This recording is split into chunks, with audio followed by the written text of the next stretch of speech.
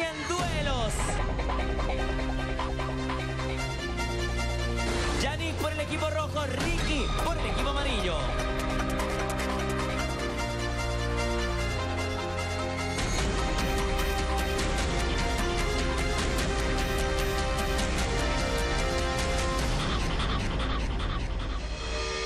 Alguna vez los vimos distanciados y compitiendo, pero ahora nos vemos más amigos que nunca.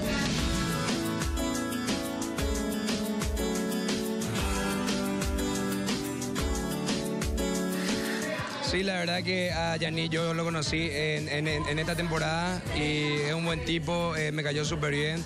Pero fuera de, de competencia somos muy, muy grandes amigos, en- entrenamos juntos y estamos aquí por un objetivo que es salir campeón de calle 7.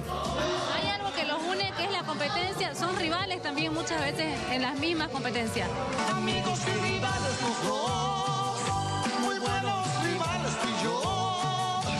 Claro que sí, aparte de la rivalidad, es una competencia sana la que tenemos nosotros porque me parece justo competir con él.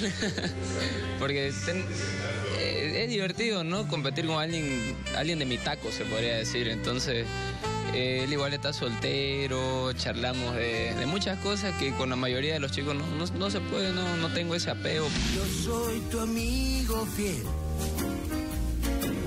Yo soy tu amigo fiel. Pero vemos acá un amarillo y un rojo. No va a haber problemas por eso.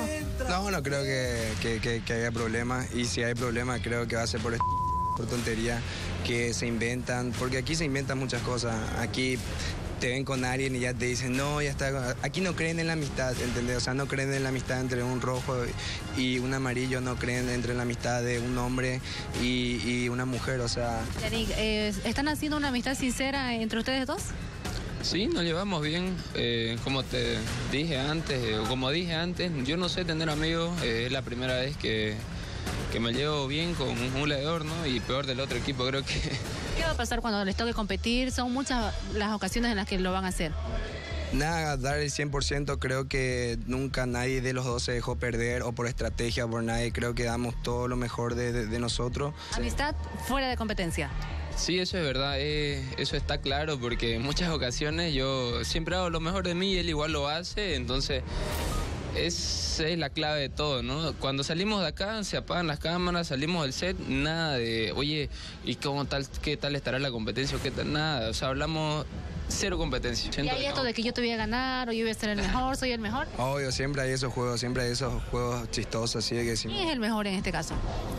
Lo ganado lo tengo yo, pero ya, eh, ya tomó su segundo aire, así que vamos a ver qué pasa.